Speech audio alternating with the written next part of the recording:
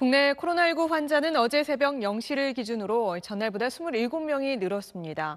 신규 확진자가 일주일째 30명 안팎을 오가고 있는데요. 다만 어제 총선이 어떤 영향을 미칠지는 2주 정도 더 지켜봐야 할 것 같습니다. 보도에 남주현 기자입니다.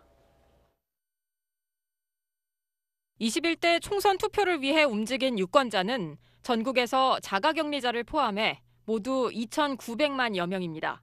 정부는 투표소가 밀집되지 않도록 지난주 사전 투표를 진행했고 투표소 안에서는 1m 거리 두기를 시행했습니다.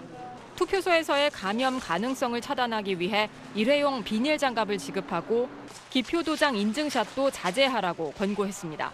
강력한 사회적 거리 두기의 형태의 그 현재의 방역 대책, 사회가 안전하고 질서 있게 관리될 수 있다는 것을 증명할 수 있는 하나의 시험대에 올랐다고도 생각을 합니다. 유례 없는 선거 방역이 성공적으로 작동했을지 국내외 관심이 높은 가운데 그 결과는 코로나19 바이러스의 최장 잠복기인 2주 정도가 지나야 확인할 수 있을 것으로 보입니다.